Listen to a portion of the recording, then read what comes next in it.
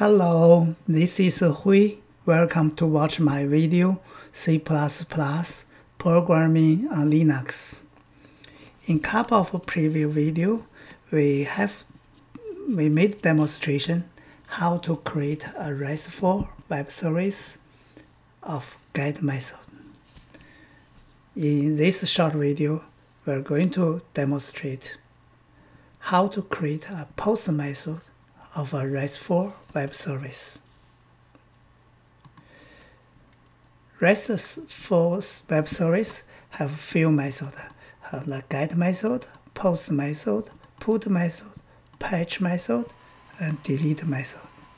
So the GET method will be used for retrieve the data from the resource of collection and the, this resource of collection will be put into response body to response back. So it's a query and uh, for the post method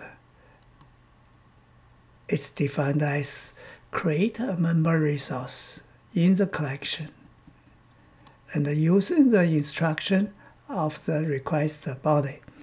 In a short word, is we put the date, record date in the request body, and we create a resource in our collection. So here is a preview videos example. We create a resource and the path resource called player. Part number is one, two, three, four. And we have a get method.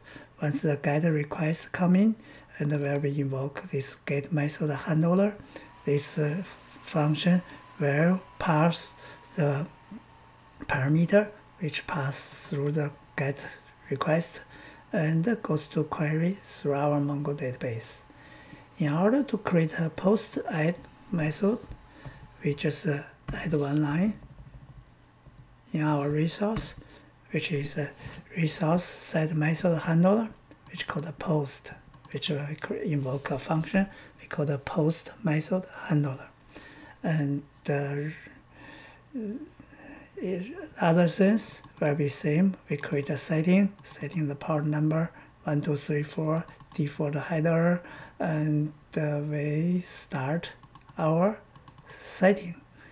And uh, so when we start here is the post method handler, where this function where we receive parameter is the session, which, uh, and from the session we're using the get request method to get the session request.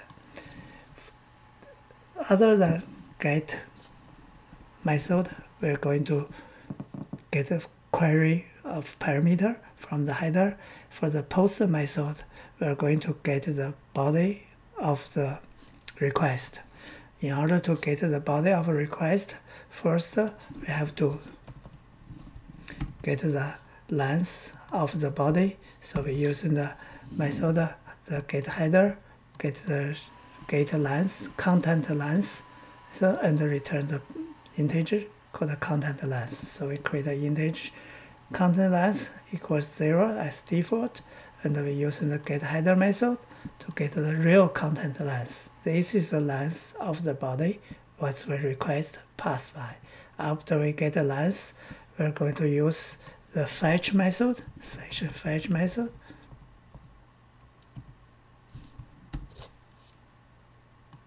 to fetch the request body.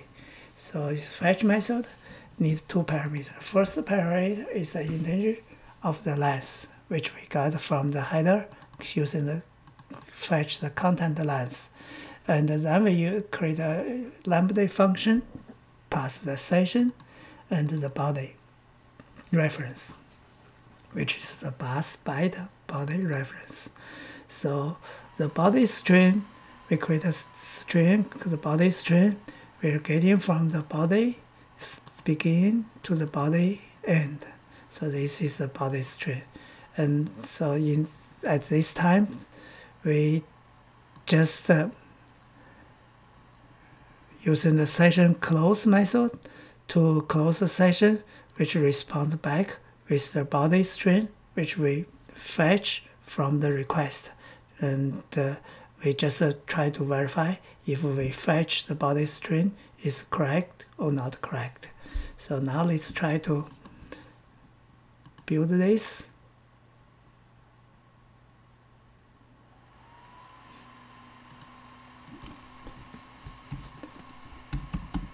Let's go to Linux, there's manual error. So we build successfully. So now let's run this binary. So now our web service started. So this web service right now not only have a get and we also has the post web service. So let's go to the other terminal. Let's try to run the get request first. So this is get request. We does? This get a request send the parameter the gender, a male, level, intermediate, and send the request and uh, try to return back from my our Mongo database how many player with gender is male, level is intermediate. So let's run this get request first. So you can see we this service respond back to gender male, level intermediate. There's one player called Stephen Colbert, and the second gender male, level intermediate, and uh, name is uh, Thomas David Thomasoni. So now let's see what we our post request does. So our post request has a request body. It's called Mary Ritchie Female Advanced, and uh, we print the request first, and uh, we print the respond back after. So it's a it's print something.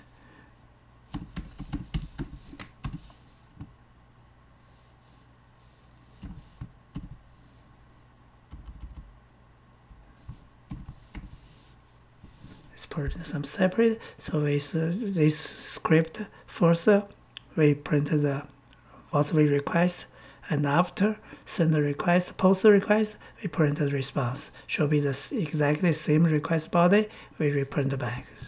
So let's try to see.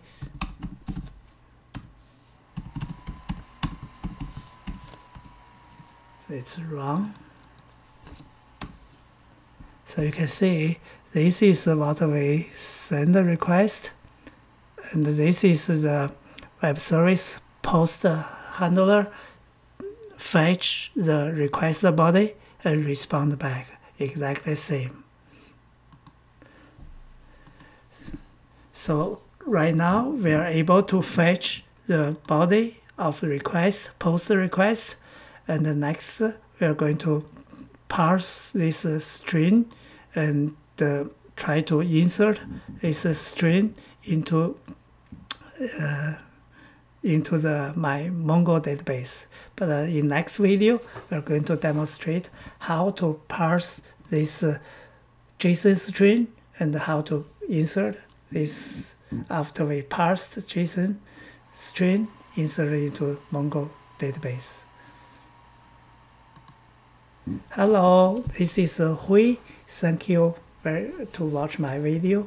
Hopefully this is useful and uh, it's going to be great to have your feedback. Thank you.